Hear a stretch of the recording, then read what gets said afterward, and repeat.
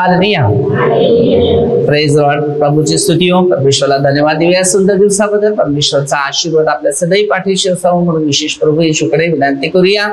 आणि प्रभूच्या वचनाचं पालन करता यावं म्हणून विशेष आपण प्रभू प्रभूच्या नावात आपलं जीवन आनंदित व शांतीत राहावं म्हणून त्या वचनाद्वारे आपली जीवनाची घडण किंवा एक प्रगती आपल्यामध्ये उत्पन्न होऊन विशेष प्रार्थना करूया.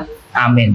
हालेलुया हालेलुया मत्तेमध्ये पाच अध्याय वचन तेरा पासून सुरुवात करूया. मध्ये पाच अध्याय वचन तेरा. तुम्ही पृथ्वीचे मीठ आहे. आता आपल्या प्रत्येकाना एक परमेश्वरनी बनवलेलं आहे किंवा एक निवडलेलं आहे. तर आपल्याला मिठासारखं एक चव आणि स्वादिष्ट म्हणून परमेश्वराने निर्माण केलेलं आहे.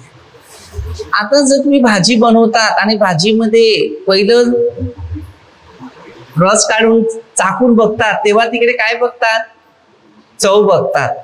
तर ती मसाल्याची चव लागते का भाजी काय टाकले त्याच्यामध्ये त्याची चव बघतात मिठ्याची चव बघतात. आणि मीठ असं एक चांगले गोष्टी आहेत की त्या सगळ्यांना एक मत करून ठेवते.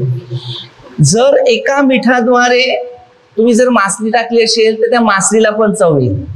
त्याच्यातून तुम्ही जर पाणी टाकलाय मसाला टाकलाय तरी त्या मिठातूनच तुम्हाला त्याचं तर भले तुम्ही किती काय काय मटेरियल टाका परंतु त्याच्या सगळ्यांना सांभाळून घेणारा ती म्हणजे मीठ आहे. तसं प्रभूने आपल्याला एक मिठाप्रमाणे एक चांगल्या माणसाच्या जीवनामध्ये एक चव स्वादिष्ट म्हणून परमेश्वरी ठेवलेली एक शक्ती आहे. आता ही चव कशी आहे? आता आपण बघायची चव म्हणजे काय? हल्ल्या प्रत्येक खाऊन बघतो ती कसं आहे. तसं ही चव अशी आहे की देवाने आमच्या प्रत्येकानं एक स्वभाव दिलेला आहे. या स्वभावाला म्हणतात चव. ना?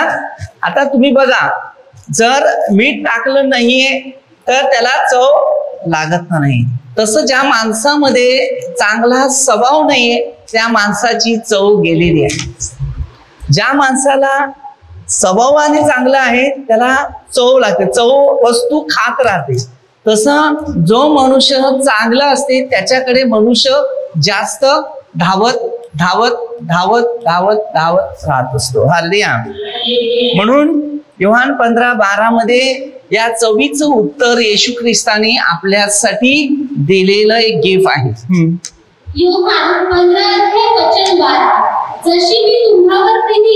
जसं मी तुम्हावर प्रीती केली तशी तुम्ही एकमेकांना तशी तुम्ही एकमेकावर प्रीती करावी. अशी माझी आज्ञा आहे. हार्दिया. म्हणजे हा चव आहे. आता येशू ख्रिस्ताची चव दुनियाभर पसरलेली आहे. एखादं खाण्याचं एक पदार्थ बनवतात आणि ते पदार्थ बनवल्यानंतर ती चव अख्ख्या दुनियामध्ये पसरते. हार्दिया. परंतु ती खाणं आहे. त्या खाण्याची चव फक्त तात्पुरती असते. पण ख्रिस्ताच्या वचनाची ज्या माणसाला चव लागली ना ती एक एक वचन एवढं खायला वाटणार की विचार करू शकत नाही. ती चव एवढी स्वादिष्ट आहे. तर स्तोत्रसहित मध्ये एकशे एकोणीस अध्याय एकशे शहात्तर वचनाची याला एवढी चव लागली तो लिवित लिवित लिवित लिवित एकशे शहात्तर वचनपर्यंत तो लिवायला लागला.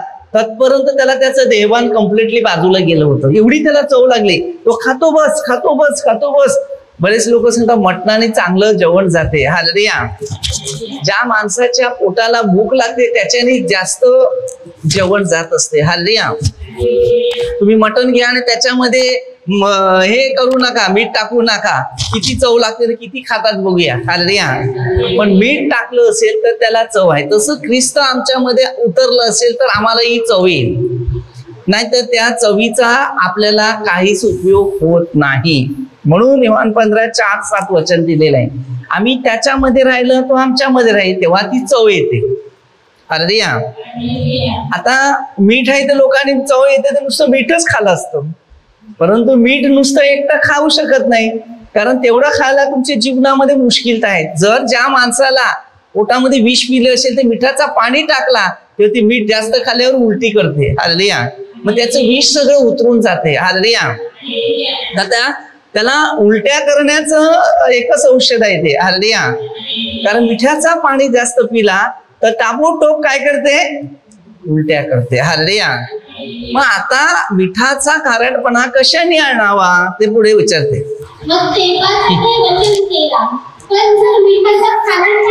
जर मिठाचा खारटपणा गेला तो खारटपणा त्याला कशाने आणता येईल?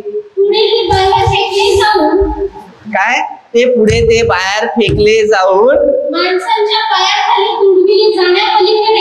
त्याचा कसलाच उपयोग हार्दिया मग आता तुम्हाला ना मला जे जीवनामध्ये दिलेले मार्ग आहेत आणि हे मार्ग जर आम्ही आत्मसात केले नाही तर शेवटी त्या माणसाची परिस्थिती माणसाच्या पायाखाली तुडवलं जाते.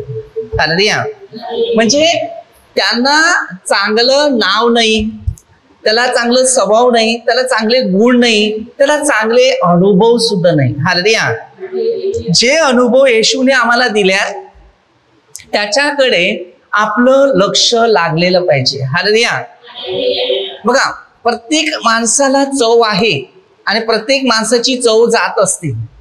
म्हणून देवाने कधी कधी आपल्याला पण दिले बास मला तोंडाला चवच नाही. मग तो जेवण किंवा काय खात नाही ना? तसं परमेश्वराचं वचनाबाबतीत तसे दिलेले नियम आहे. हालडिया मग ही चव आणण्यासाठी आम्हाला प्रभूची गरज आहे. आणि प्रभू असेल तर आम्हाला चव येईल. एखादा माणूस तुमचा द्वेष करेल. हा? तुम्ही प्रार्थना करायला लागले काय करायला तो द्वेष करेल. पण घाबरू नका. तुम्ही त्यासाठी प्रार्थना करा. तो आज द्वेष करेल पण उद्या तुमची स्तुती करेल. का? त्याला ते समजत नाही म्हणून तो तसा करतो. हार्दिया मूड बघा. याच्यामध्ये स्वतःशी त्रेपन्न अध्याय एक वचन आणि चौदा अध्याय एक वचनमध्ये दिले. मूळ आपल्या मनात म्हणते देव पण नाही. अरे देवाने तुला निर्माण केलं देव कुठे एक दिवस एक माझा मित्र भेटला असं सांगतो अरे कुणी देवाला बघितले? देव आहे का? अरे एक काम कर तोंड आणि नाक बंद कर. आता सगळं तोंड आणि नाक बंद करायचीच वेळ आली की नाही देव आहे की नाही? मग देवाची सगळी प्रार्थना सगळी स्थळं बंद ठेवली. म्हणून लोकांचा देवावर विश्वास नाहीये म्हणून लोकांना देव दिसत नाही. हालेलुया जर तुम्ही देवाशी एक रूप आणि एक नातं जर बोलत असेल आणि त्यामध्ये राहत असेल तर देव तुमच्याद्वारे अनेक प्रश्नाची उत्तर तुम्हाला देण्यास तयार आहे. म्हणून आम्हाला जर चांगलं कर्म करून देवाच्या वचनात जर वाढायचं असेल तर आम्हाला चांगलं जीवन जगणं गरजेचं आहे. हालेलुया आता मी माझ्या चांगल्या मार्गात चाललो तर मला चांगले अनुभव आले. हार्दिया आणि मी देवाचा हात पकडला आणि हात पकडून चालायचा प्रयत्न केला. मला कळायला लागलं की देवाचा हात पकडल्यावर चांगलं मिळते या जगाचा हात पकडल्यावर नुकसान मिळते. तेव्हामुळे माझं जीवन मला समजायला लागलं तेव्हा मी देवाचा हात पकडून देवा मागे लागला. आणि या जगाचा हात होता तो सगळं सोडला. हार्दिया आता तुम्ही आणि मी आहे. आता माझ्या बरोबर चालले ते स्वर्गाबरोबर राहिले. तर माझ्या बरोबर चालले नाही तेव्हा तो लोकांबरोबर राहिले. कारण का? त्यांनी स्वर्गाविषयीची शब्द कधी कानावर मनावर तनावर आणले नाही. आले या तुम्ही पाहिजे ते एकदा शोधून काढा. चांगला काय अनुभव आहे आणि काय वाईट आहे? हरण्या देवामध्ये राहिल्यावर किती फायदे होतात आणि लोकांच्या सवासात राहिल्यावर किती फायदे होतात? कोण तुम्हाला येशूकडे नेतो आणि कोण तुम्हाला येशूपासून दूर करतो? हे बघा हरण्या. मी अनेक लोकांना एकच सल्ला देतो. आता मी येशूच्या बरोबर चालला म्हणून देवाने माझ्या जीवनात सगळ्या गोष्टी पूर्ण केल्या. मला वस्तूची गरज नाही मला कार्याची गरज आहे. आणि मी कार्य देवाने मला दिले ते मला करणं गरजेचं आहे. हार्दिया कारण चव जर आपल्याला पाहिजे म्हणजे मान सन्मान जर पाहिजे असेल तर देवाच्या मागे लागा. हार्दिया म्हणून येशूने काय सांगितले मग ते पाच दोन पासून शिकवलं तर बारा पर्यंत तिकडे. हार्दिया आता हे पुढचं आपण बघतो पण त्या पाठीमागचं परत पहिलं गेलेलं आहे ना ते तुम्ही मागून बघायचं की हे पहिलं काय मग आला? मग आता येशू ख्रिस्त असं चव कशाला देतो त्याला? हालिया ना? त्याच्यात उलट बारा वचन आण. आनंद करा कारण तुमच्या पूर्वी जे संदेश होऊन गेले त्यांचा त्यांनी तसाच छळ केला. असं आहे ज्यांचं आता तुम्हाला माहिती आहे की मी एवढं चांगलं काम करतो सगळ्यांना दिसते. तुम्हाला पण दिसते.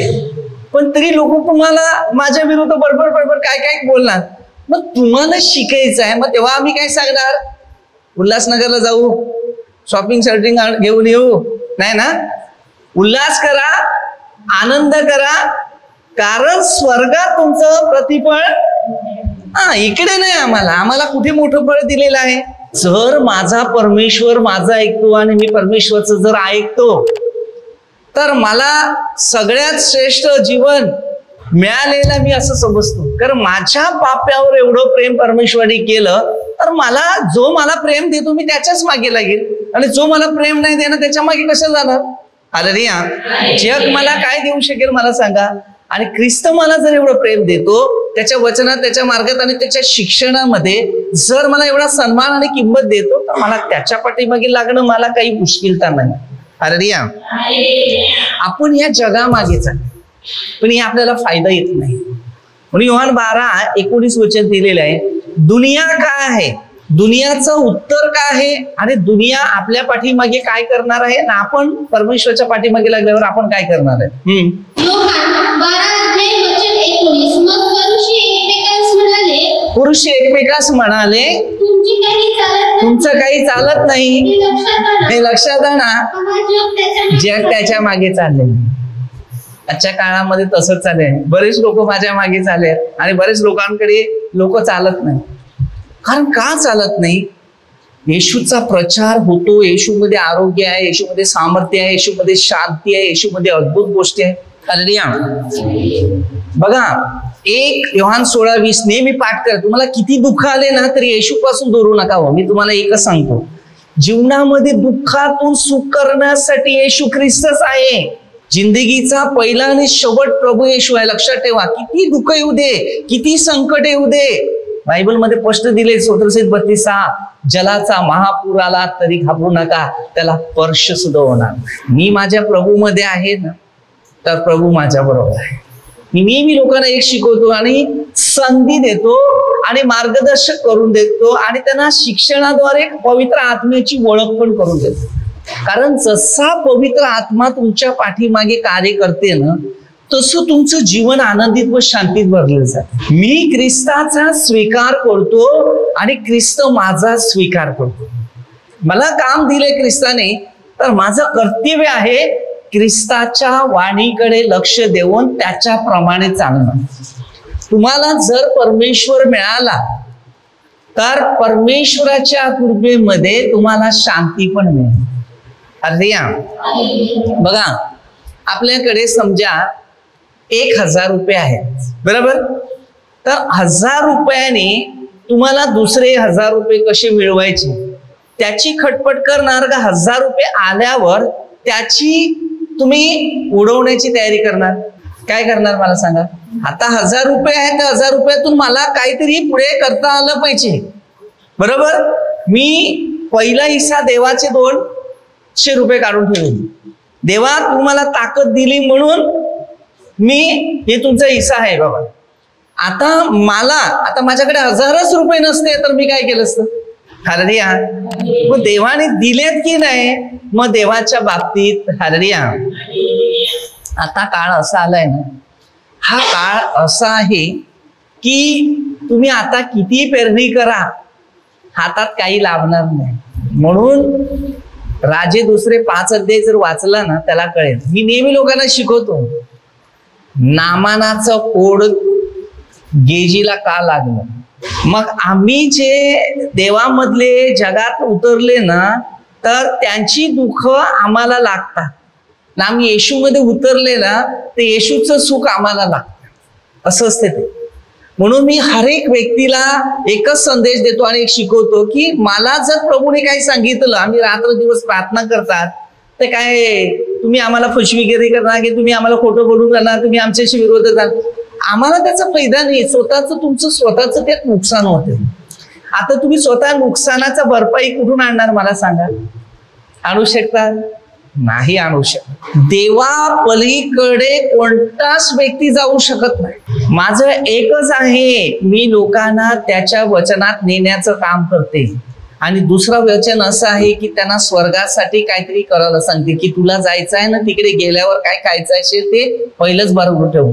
तुम्ही महिन्याचे वर्षाचे रेशन पाणी भरतील का नाही? भरतात की नाही? भरतात. मग स्वर्गात जातील तेव्हा काय खाणार? तुम्हाला काय वाटते आपली घरं दारं बंगले हे सगळे राहणार आहेत? तुम्हाला काय वाटते का असं? हे राहणारी वस्तू आहे का? नाही. काहीच राहणार नाहीये. मी आता एकोणचाळीस वर्षावर ज्याचा भरवासा आहे की खरोखर यात काहीतरी होणार आहे. तर स्वतःच लोकांनी त्याच्यावर जास्त डिसिजन घ्यायचं. तुम्हाला प्रत्येक वर्ष काय ना काय काय ना काय काय ना काय येत जाणार कारण मी बायबलच्या नियमानुसार किंवा वचनानुसार स्टडी केलेले आहे. सगळं काय होते ते चाळीस चाळीस यावरच होत. नोआच्या काळामध्ये चाळीस दिवस चाळीस रात्र पाऊस आला.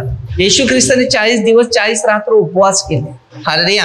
परमेश्वराच्या राज्यासाठी चाळीस चाळीस चाळीस चाळीसचा सगळा आकडा आहे. आणि ट्वेंटी आणि ट्वेंटी फोर्टी झालं ना? चाळीस झालं. मग दोन हजार वीस मधूनच सुरुवात झालं ना?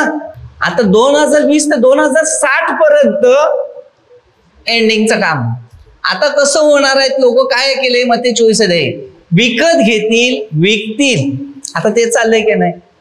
घरं बांधतील बरेचशा बायबलचे आखे उदाहरणं आहेत. सगळं करून देतील आणि त्यामध्ये सगळे गुंतून राहतील. अचानक जलप्रया येईल तो कोणाला कळून देणार नाही. म्हणून त्यांनी आता हे सुरुवात केली थोडी थोडी थोडी थोडी. पहिला ताप यायचा असेल तर थोडा खोकला अंग दुखेल काहीतरी होतो म्हणजे माणसाला. आणि त्यानंतर समजते की काहीतरी मला आता त्रास होणार. तसंही आता सृष्टीमध्ये हळूहळू पाऊस पाठवत जाणार. ते जलप्र यायचं. त्या अगोदर लोकांना सांगतो आता पश्चाताप करा. आता पश्चाताप करा. संधी देतो. प्रत्येक टायमाला संधी देतो. निसर्गाच्या कोणत्याही गोष्टी आहेत त्या चांगल्या आहेत वाईट नाही. तो परमेश्वर दयाळू आपल्या पुत्रांना प्रेम देतो. पण आजचा जे काळामध्ये नोहाच्या काळात जे जलप्रय आले ना तीच परिस्थिती आजच्या काळामध्ये आहे. तर आता तुम्ही आणि मी काहीच सांगू शकत नाही. मग ते चोवीस अध्याय वाचव त्याच्यात स्पष्ट दिले मार्ग तेरा अध्याय किंवा लोक एकवीस अध्याय हे सगळं पडणार. मंदिरं पडणार सगळं फुटणार सगळं सुशोभित. माझं खूप असं वाटते की चांगल्यात चांगलं काम कसं करता येईल तर मी देवाला ते सांगतो. मी अनेक लोकांना शिकवतो. हालेलुया. लोकांना फायदे काय व्हावे हे शिक्षण घ्या. ज्या गोष्टीची तुम्हाला गरज आहे ना त्यासाठी तुम्ही तुमचं जीवन पहिलं मजबूत करा. आता आपल्या इकडे बघा शाळा देवळं मोठी आपण सगळी बांधतो. मग नाही का? मोठमोठे आता आपलं केंद्र बांधलं हे केलं सगळं मोठं आहे. सगळ्यांनी बांधलेले आहेत. कोणाचा मी उल्लेख करू शकत नाही. पण कोण असा बुद्धिमान आहे ना कोण असा माणूस आहे की तुम्हाला आजार पडल्यानंतर तुम्ही एक मोठं हॉस्पिटल मुंबईला जाण्या अगोदर इकडेच एक मोठं हॉस्पिटल बांधलं असतं ते? हा? माझा प्लॅनिंग तोच होता. हॉस्पिटल बांधलं तर तुम्हाला पाप कबूल करायला मिळेल पश्चाताप करायला मिळेल. तुमच्या सुखसुविधा जिथे एक लाख खर्च आहे तिथे पंचवीस हजार होईल. कारण का? तुमच्याकडे पैसा नाही म्हणून. आणि खरोखर गरीब आहे तर त्याच्या आजूबाजूला जाऊन पहिले विचारलं जाईल याच्या परिस्थिती कशी आहे? तो सांगेल खरंच गरीब. काही पैशाकरता खोटं पण बोलतात. बरेच लोक तसे आहेत. तर त्यांना फ्री माझे प्लॅनिंग खूप मोठं आहे. मला पैसाने बिझनेस करायचं नाहीये. मला सत्य प्रकट करायचं आहे की देवाने दिलेलं ना ठीक आहे. डॉक्टर हा सल्ला दिलाय ना तर डॉक्टर असे पण देवाचे सेवक आहे ते पण कार्य करणारे लोकांना मदत बिदत करणारे. हालेलुया काही प्रेयरचे डॉक्टर लोक काय करतात? ते प्रार्थनेला जातात ना तर शनिवारच्या दिवशी सेवा फुकट करतात. त्या डॉक्टर फक्त मेडिकलचा पैसे त्यांनी खर्च करायचं काय असेल तर. नाही तर ते तपासणी करणार ना त्याच्याकडे औषधाला तरी एक पैसा नाही घेणार. फुकटमध्ये तो दिवस शनिवारी त्याने ठेवलेला आहे. म्हणजे असे पण लोक आहेत. असे बरेच सेवा करणारे पण लोक आहेत त्यांना मदत करायची इच्छा आहे ते पण करणारे आहेत. पण आपल्याकडे कसं पैसा नाही आहे.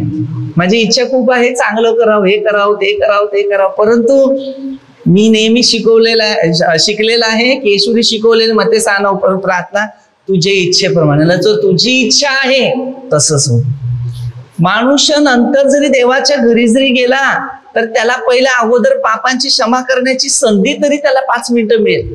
की त्याच्या नावाने प्रार्थना पण केली जाईल की त्याचा आत्मा देवा तुझ्याकडे जाऊ दे सैतानाकडे नको त्याच्या पापांची क्षमा कर त्याला आरोग्य दे आणि त्याचा आत्मा स्वर्गापर्यंत पोहोचव. हे सर्व आत्मे आपल्याला परमेश्वराच्या राज्यामध्ये न्यायचं आहे. हालेलुया आज बरेचसे लोक मृत्यू पावतात आणि मेल्यानंतर कुठे जिथे त्याचं मन आहे तिकडेच तिकडे राहतात ते. ते स्वर्गाकडे जात नाही. म्हणून आत्मा समर्पण करा.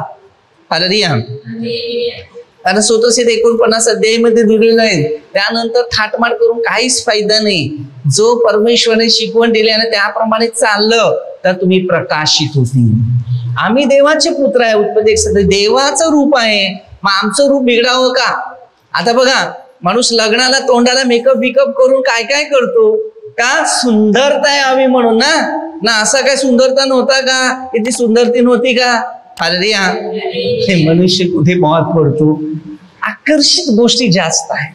माणसामध्ये आकर्षित गोष्टी जास्त आहेत पण मोहर बेजव मिळवणारे लोक कमी आहेत. म्हणून देवामध्ये तुमचं जीवन आनंदित व शांतीत ठेवा. पुढचं वचन सांगतो मग ते पाच अध्याय वचन चौदा तुम्ही जगाचा प्रकाश आहात. काय सांगते तुम्ही जगाचा प्रकाश आहेत.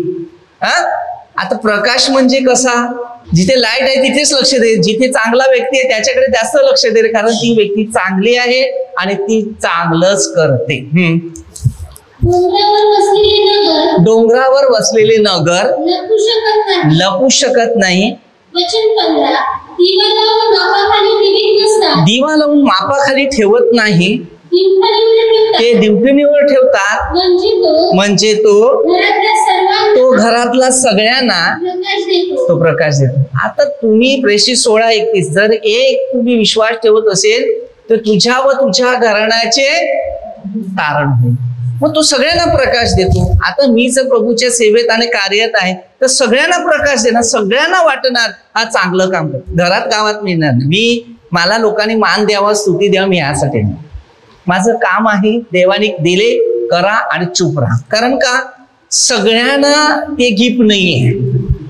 हल्लिया मला गिफ्ट दिले ते त्या सगळ्यांना नाही दिलं. हल्लिया मला जे निवडलं ते सगळ्यांना नाही. आता गणना बारा अध्यायमध्ये जेव्हा मोशीची परमेश्वरी तयारी केलेली होती त्याची बहीण त्याच्या विरोध कुरकुर करायला लागली. कारण ते लग्न केलं म्हणून तो बोलायला लागले. तुम्ही लग्नावर अनेक लोकांचा विषय असते. कुणी काय केलं तर बघतो. पण त्याच्याकडे नवीन शंभर टक्के गुण जे आहेत ते बघत नाही. हालेलुया मनुष्य समाजामध्ये चुका जास्त शोधतो पण दुरुस्त शोधत नाही. घरातला टीव्ही खराब झाला तर ताबोटोप मोबाईल खराब झाला तर ताबोटोप रिपेअरला पाठवतील. पण मनुष्य खराब झाला त्याला रिपेअरला कोण देणार नाही. हा आजारी पडला तर डॉक्टरकडे ताबोटोब घेऊन येतील. परंतु तो पापात आहे गाणीत आहे नाशामध्ये त्याला रिपेअर करणार नाही. आता युवांमध्ये पाच अध्यायमध्ये बघा एक मनुष्य पापी होता. त्या घरच्या लोकांनी त्याला उचलून आजारी पडल्यानंतर नेऊन ठेवला त्याला. अडतीस वर्षापासून तो आजारी होता. परंतु येशूला मात्र माहिती होतं की याला मला वाचवणं याला स्वर्गात न्यायचं आहे. त्यांनी त्याच्याकडे आला आणि त्याला बरं केलं आणि सांगितलं तुला बरं होण्याची इच्छा आहे का? कोणते माझा माणूस नाही. पण मी तुझा माणूस आहे ना. हालरिया तो आला की नाही? आला. त्याला प्रेमाने जिंकलं की नाही? पण त्याला सांगितलं हे बघ मी तुझ्या आता जोडीला आहे. मी आता तुझ्या जोडीला आहे म्हणून मी तुला बरं करेन. पण नंतर तू पापात जाशील ना परत तुझ्या जोडीला कोण येणार? म्हणून यापुढे पाप करू नको करशील तर पूर्वीपेक्षा तुझी हालत खराब हालरिया पहिल्यापेक्षा हालत तुझी सांगते खराब होईल. का? हालरिया कारण त्या परिस्थितीला त्याला जायला नको. हालरिया कारण आपण एका चुकीच्या रस्त्याला जायला लागलं. तर चूक आपल्याला कमजोर करते. आणि आपण चांगल्या रस्त्याला गेलो तर ती चांगल्या गोष्टी आपल्याला चांगल्या ठिकाणी देत असते. हालरिया मी नेहमी नेहमी लोकांना शिकवतो. आता येशू ख्रिस्त जसं आहे तसं येशूने आपल्याला सेने वाहन चौदा बारा मध्ये माझ्यावर विश्वास माझ्यापेक्षा चांगले कर्म करू. मग आता मला चांगली कर्म जर करायची आहे तर मी देवाबरोबर राहील तेव्हा चांगलं होईल ना? तुम्हाला चांगलं वागायचं आहे चांगलं बनायचं आहे चांगलं करायचं आहे तर देवा बरोबर राहील तेव्हा. तुमच्या कोणा एकाची तरी उद्याची गॅरंटी देऊ शकतो का? कोण मनुष्य गॅरंटी देतो उद्याची गॅरंटी देतोस कोण नाही सांगू शकत कारण कोणाकडे गॅरंटी नाही आहे. पण मी तुम्हाला गॅरंटी दिली येशूच्या नावाने. तुमच्याजवळ येशू ख्रिस्त आहे ते उद्याची गॅरंटी मी देतो. कारण येशू बरोबर असल्यावर त्याने कशी रे तुमच्या डोक्याच्या केसाला पण मी धक्का लागणार नाही तर शरीराला काय होणार आहे? अरे या मग प्रभूने आपल्यासाठी योजना दिल्यात मार्ग दिल्यात शिक्षण दिल्यात नियम दिल्यात ते शिकायचं. मार्क नऊ बेचाळीस. एखाद्या विश्वास असतो आणि त्याला प्रार्थनेतून आपण हळूहळू बाहेर काढतो. तर बायबल काय शिकवते? तुझं नुकसान होय तू त्याला बाहेर काढले म्हणून तुला पहिला मी पटका टाकील आणि खोल समुद्रात टाकेल हे त्याचं हिताच आहे. म्हणजे आपल्या प्रत्येकाना ख्रिस्तामध्ये जीवन हे पहिलं जगणं गरजेचं आहे.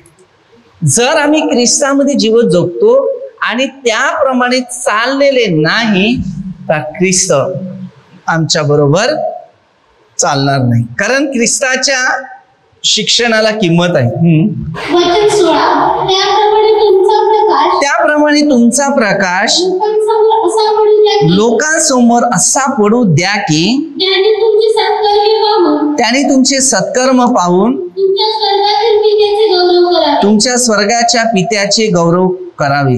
आता आपल्याला परमेश्वरी एक सत्कर्माची ओळख दिलेली आहे.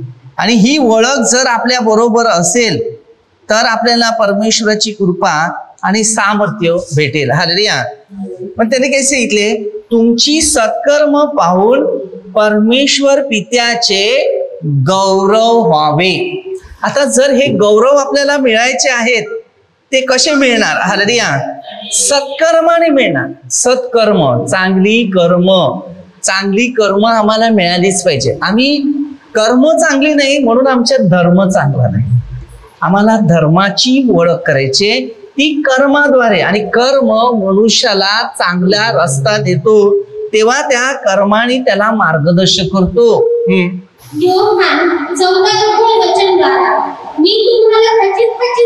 मी तुम्हाला खरं खरं सांगतो. मी जी कृत्य करतो. माझ्यावर विश्वास ठेवणार करील आणि त्यापेक्षा मोठी जातो. तो पित्याकडे चालला. म्हणून आपल्या प्रत्येकानं गिफ्ट दिलेलं आहे. म्हणून योहान आठ बारा कसे मी जगाचा प्रकाश आहे. जो मला अनुसरतो तो अंधारात नाही चालणार. तो परमेश्वराच्या राज्यातच जाणार. जो येशूला स्वीकारतो तो पापात कधीच जाणार नाही. आणि ज्यांनी येशूचा स्वीकार मनापासून केला नाही तो पापाच्या आरीत जाईल. आर्या. कारण परमेश्वर पापावर विजय मिळवणारा परमेश्वर आहे. आर्या. तर तोच विजय तुम्ही मला दिलाय तर मी पण तोच विजय मिळवणार आणि ख्रिस्ताच्या शिक्षणाकडे लक्ष देणार. हार्या कारण लोकांनी फक्त निंदा ऐकलेल्या आहेत. पण त्या व्यक्तीच्या हकीकत गोष्टी ऐकल्या नाही काय चांगलं आहे आणि काय वाईट. आता एखादा माणूस तो बरोबर नाही हो बरोबर नाही तुम्ही सांगतात त्यांचं लोकांचं ऐकून.